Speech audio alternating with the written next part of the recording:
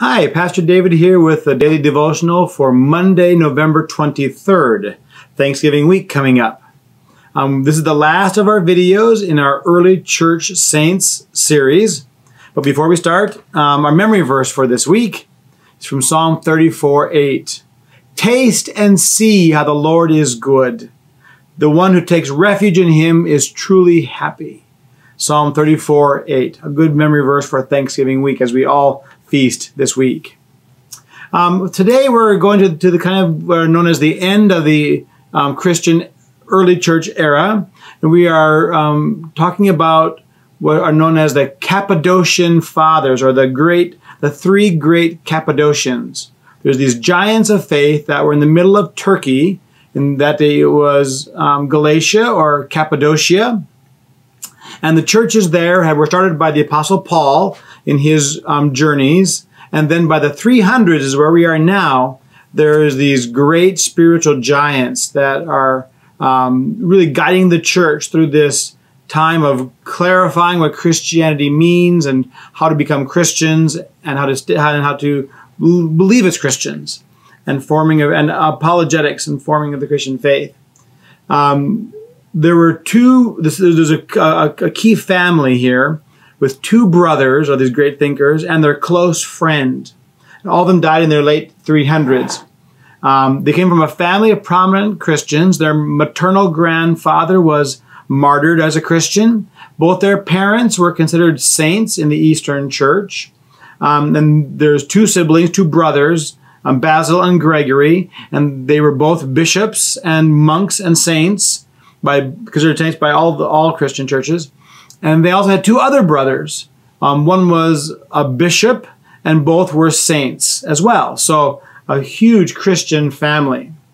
Basil the Great, Basil, as we hear about in, in, in the name carried on, um, was the oldest and had the leader of the Cappadocians. Um, he was a bishop of Caesarea over in the Holy Land. Um, Gregory of Nazianzus, Nazianzus um, who was their good friend, he was a bishop of Nazianzus, um, and he also became bishop of Constantinople. He was the what became known as what would be the Eastern Church or the or the um, Eastern Orthodox Church. He became what was known as the the, the Pope of that church. Um, he's, he's considered the greatest orator of the early patristic um, era. And then the, the, young, the, younger brother is Gregory, um, who is bishop of Nyssa. Uh, now we're talking about um, Eastern Eastern Eastern expression of faith. Here is a uh, icon typical of the Eastern style of faith. This is Byzantine, um, and this is certainly the the style of faith that they're talking about. A lot of contemplation, a lot of focusing on the person of Jesus, and um, the there's a great monastic order in the Eastern Church as well. Um, so they were all monastics. Um, it was actually their sister who converted the family estate to be a monastery for women and for men. Both, both, both were there. Um, and all the siblings were monastics, and all were saints, and three were bishops. Um, and they pursued a spiritual life that focused on their faith in Jesus Christ rather than the religion, uh, the religion of the world and secularism and materialism around them, the pleasure that the world offered. So the first thing that we want to learn about, learn about the Cappadocians, they were monastics and really propelled the monastic movement and how you give your whole self to Jesus. If you, and you weren't being living as a monastic, you certainly were to take on the pledges of a monastic to live for Jesus and not for the world. You have a different priority. Number two, they were very learned, well educated leaders. Um, they were apologists and formers of Christian doctrine classically trained. Their parents trained all of them, brothers and sisters, together and pushed them to hold their own among the Greek, the great Greek schools.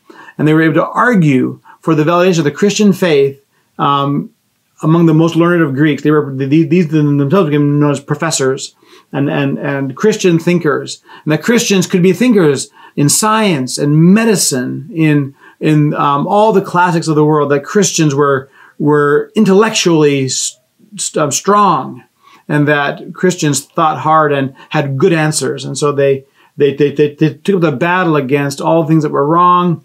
Uh, the sec- secularism preached dr- dramatically about the, the way of Jesus, as well as took up the picked up the mantle from Athanasius. You remember from his battles with the Arians, and and the the Cappadocians were the ones who really clinched the battle against um, the Arians after Athanasius passed away. The Cappadocians really argued um, so well that by the time of their death, no one was believing Arianism anymore. Arianism was just that Jesus is only human, not God himself. They also, um, the Cappadocians also clarified and fin- helped finalize the form of the, of the Nicene Creed that we use today. It was their authorship that kind of created, created that. And the third piece I want you to know about the Cappadocians is that they have a very high view of women. Very strange for that era. Um, their sister was well educated and she wrote extensively, taught extensively, and they considered her their equal, both in learning and in piety. And so many people today think that they, that they, they, they should be called the four Cappadocians, including their sister in the group because she was so influential. I want to read for you a couple quotes. And I'll only stick to um, Basil the Great because that's all we have time for today. Um, one, he, he said, A tree is known by its fruit, a man by his deeds. A good deed is never lost. He who sows courtesy reaps friendship. He who plants kindness gathers love. He was trying to get people to be gracious in the world and to be loving in their day to day lives, living out their faith. And he's also very, they're also very um, emphatic on helping and caring and blessing other people. And so one of his quotes was, um, the bread which you hold back belongs to the hungry. The coat which you guard in your locked storage closets belongs to the naked. The footwear moldering in your closet belongs to those without shoes. The silver that you have keep that you keep hidden in your safe um, belongs to those in need. Thus, however many are those whom you have provided for, there are many of those whom you wrong. So you may feel generous, but there are many more you should be helping. Very good key there. And a third one is good for Thanksgiving week this week. Preserve gratitude like a precious deposit within your soul, and from it you will receive a double portion of delight. Remember the apostolic word give thanks in all circumstances. Gratitude deep in your soul, plant it there. It will change your whole outlook for your whole word and give you delight. So, for our devotions today, three points to be thinking about and chewing on today. One for monasticism. In what ways are you too attached to the pleasures of this world, too focused on material things, and not focused enough on Jesus?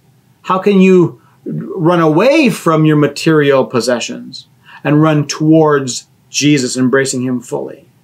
Secondly, is education, learning about your faith so that you can talk eloquently and educatedly among others.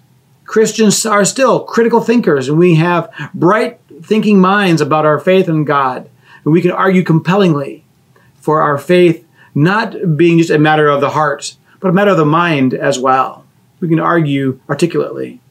And thirdly, importantly for this week, is our sense of gratitude. Can we foster a life founded on gratitude this week, especially as Thanksgiving? And from that gratitude will come delight, that whole shalom peace of our, of our Christian life. Pray with me.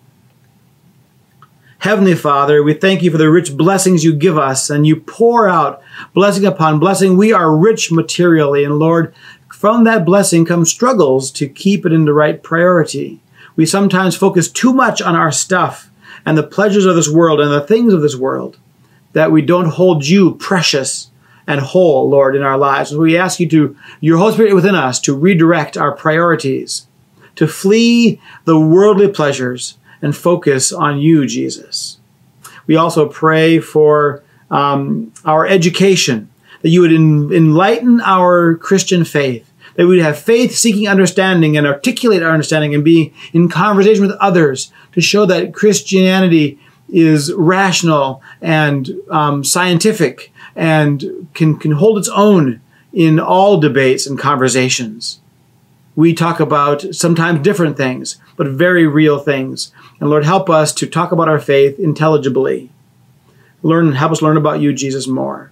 And thirdly, Lord, we pray you would foster within us hearts of gratitude, that you may, this week especially, grow within us a delight of life with you, for we are founded on our gratefulness to you, Jesus, for all good things.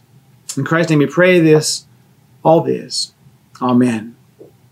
Now, this coming up week, we have a special video on Thursday rather than Friday, Thursday instead, for Thanksgiving. It's a video that it's short video intended for you to use at your dining table when you're ready to eat your Thanksgiving meal. Whether you eat it with others or by yourself, get out your device, watch the video for the Thanksgiving prayers right before you eat your Thanksgiving meal. Or if you have lots of family and commotion around, you might want to do it a little bit earlier, right before the meal sometime. Then next week, we're starting our new Advent series. We're going to be, um, you'll be getting a mailing this week of a packet of things that you can take and use as a countdown towards Christmas. We'll start that um, next Sunday and Monday in our video. And we'll be, you'll be doing a Bible reading every day from now until from, from, when, from Sunday until Christmas. So lots coming up, and we're going to be together in many ways for our, preparing for, for, for Christmas. Until then, happy Thanksgiving and keep calm and carry God.